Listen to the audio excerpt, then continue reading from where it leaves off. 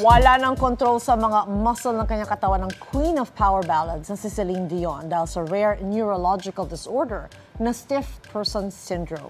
Yan ang pinahaging update ng atin yang si Claudette sa isang interview.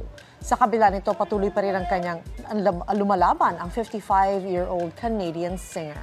Kabilang sa mga pangarap nilang magkapatid ay makabalik pa sa stage si Celine. December last year nang i-reveal ni Celine ang kanyang rare condition. Sa ngayon, wala pa ring lunas para sa stiff person syndrome. Yeah.